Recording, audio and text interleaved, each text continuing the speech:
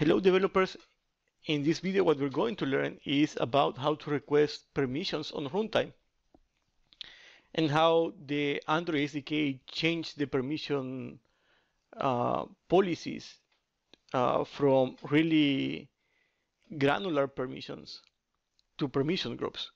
In the past, for example, to ask permissions to get the location of the user, you have to use two, two permissions, fine location and coarse location. That is grouped now in a group called location.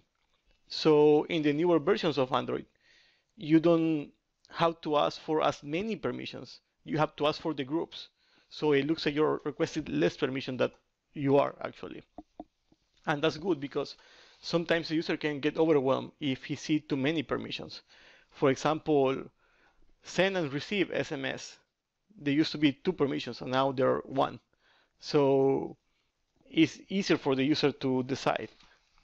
And also, in the newer versions of Android, the permissions requests are not uh, requested in the APK installation. They are they need to be requested on runtime.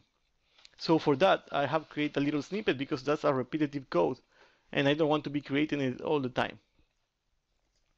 So to show you that, let's go to the main activity, and I have pasted that snippet in GitHub just to copy and paste. So I'm going to copy and paste it from here.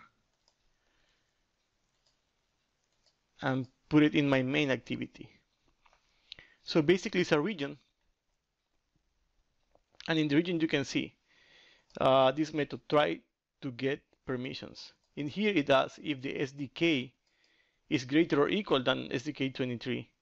And if it's greater or equal, you have to request the permission on runtime. Because during the installation process, uh, they were not requested. So in here, you go to get permissions async. So let's go to definition. And in here, um, I have a constant for the permission that I want to request. And first I check if I have this permission. And if I already have them, I will show a toast. The toast is not necessary. You can like just comment it out. It's just to for me to see the flow of the of this new snippet if you don't have permissions, I'll show an alert dialog. That dialog will request, will ask the user if he wants to grant permission. And here I wrote special permission, but you can change that for the actual permission that you're going to request, like location permission. I just put special permission as a generic term. So if they say yes, we request the permissions and you will see um, a prompt asking uh, for you to grant the permissions and after that uh, you will see the result. If the person grant the permissions this code will run. It means that the permissions were granted and that's why I write here special permission granted. You can actually write the permission that you're asking for like location permission granted or you just you can just like uh, comment it out at all. Again this is for handling the flow of the application also if they deny it i show a toast to say that the permissions are denied but again you don't have to show this and basically that's that's it um, i'm going to run this application i think i already grant the permission so um, you will see the toast.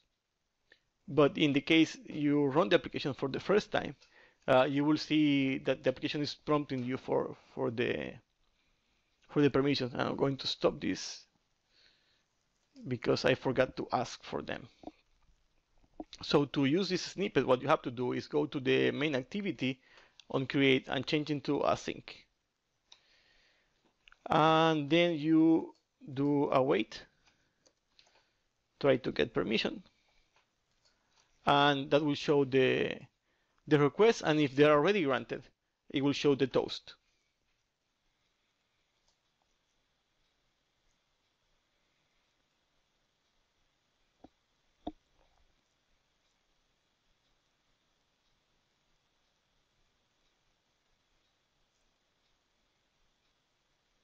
Okay, so it's greater or equal than 23. Uh, let's run. And now the application is asking us for the permissions. If we allow, we will grant the two permissions, the coarse location and file location. And that says the special permissions are granted. So this code, I didn't, it was, uh, well, I, I wrote some part of it, but most of it was taken from a blog post from uh, James Montemagno from Xamarin. He explained in this um, blog post about the permission and the permission groups and the flow. And here you will see what is the different flow if the SDK is greater or equal than 23 or if it's um, lower than 23. So I use his code as base. So you can just edit like just a little bit. Basically, if you see the snippet here that I post in GitHub, the only thing that you have to do is this permission group location, you should ask as many permissions as you want to ask for. So that's pretty much it. If you need other permissions, you can write it there. So with this, I will finish the video. I will post this address so you can just copy and paste the snippet. And also I will post the original uh, blog post so you can take a look on how it's working now. Thanks for watching and I see you guys in the next video.